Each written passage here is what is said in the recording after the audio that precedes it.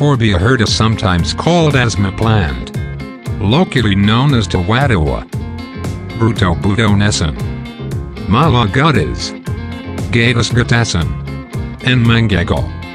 Has been used in the Philippines as early as 1948 for treating fever. Since the 1980s, it has also been used for sore eyes, cough, diabetes, dengue, malaria, gastritis, and diarrhea. Euphorbia hirta is a pantropical weed, originating from the tropical regions of the Americas. It is a hairy herb that grows in open grasslands, roadsides and pathways. This erect or prostrate annual herb can grow up to 60 centimeters long with a solid, hairy stem that produces an abundant white latex. There are stipules present. The leaves are simple, elliptical, hairy on both upper and lower surfaces, but particularly on the veins and the lower leaf surface, and with a finely dentate margin. Leaves occur in opposite pairs on the stem. The flowers are unisexual and found in axillary cymes at each leaf node. They lack petals and are generally on a stalk. The fruit is a capsules with three valves and produces tiny, oblong, four-sided red seeds. It has a white or brown taproot. It is widely used in traditional herbal medicine across many cultures, particularly for asthma, skin ailments, and hypertension. It is also consumed in herbal tea form as folk medicine for fevers in the Philippines, where it is known as tawa-tawa, particularly for dengue fever and malaria. Medicinal uses of Euphorbia hirta Euphorbia hirta is known to the respondents as Tawatawa, Bruto budonescen, Gatas gatas, and Mangagaw. The earliest reported use of Euphorbia hirta was in the 1940s for fever, then in the 1980s for dengue fever, other fevers, and conjunctivitis, and then in the 2000s for diabetes and typhoid fever. Euphorbia hirta medicinal uses reported date and usage by participants for fever with 8 number of participants who reported usage equivalent to 21%. 1948 is the earliest reported date of usage. For dengue, with 17 number of participants who reported usage equivalent to 46%. 1980 is the earliest reported date of usage. For malaria, with 6 number of participants who reported usage equivalent to 16%. 1980 is the earliest reported date of usage. For conjunctivitis, with 4 number of participants who reported usage equivalent to 11%. 1980 is the earliest reported date of usage for diabetes, with one number of participants who reported usage equivalent to 3%.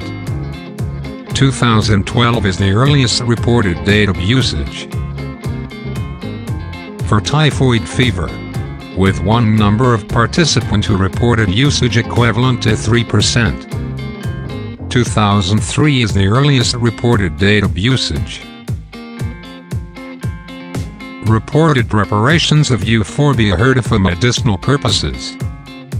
Decoction for treating dengue, malaria, fever, and typhoid fever.